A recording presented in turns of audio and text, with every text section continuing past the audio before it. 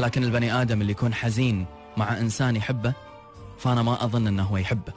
وحط بين كلمة يحبه مليون خط. وحطها بين قوسين وركز عليها. اللي يحبك ما يخليك حزين. اللي يحبك ما يخليك تشتاق حق حياتك قبله وبدونه.